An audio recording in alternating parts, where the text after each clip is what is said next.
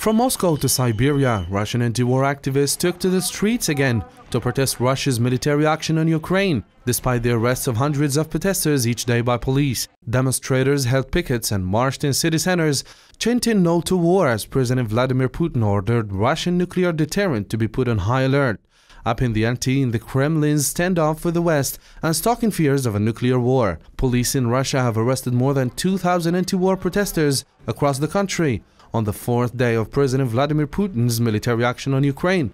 This brought the tally of protesters arrested since Putin launched the military action in the early hours of Thursday to 5,250. In Moscow, riot police often outnumbered protesters, some of whom carried handwritten placards with peace signs and anti-war slogans in Russian and Ukrainian. Some wore masks with the word enough emblazoned in the front. Protests against the military action started Thursday in Russia and have continued daily ever since even as Russian police have moved swiftly to crack down the rallies and detain protesters. The Kremlin has sought to downplay the protests, insisting that a much broader share of Russians support the assault on Ukraine. Ordinary Russians fear that stiff sanctions will deliver a crippling blow to the country's economy. Since Thursday, Russians have been flocking to banks and ATMs to withdraw cash, creating long lines and reported on social media about ATM machines running out of bills.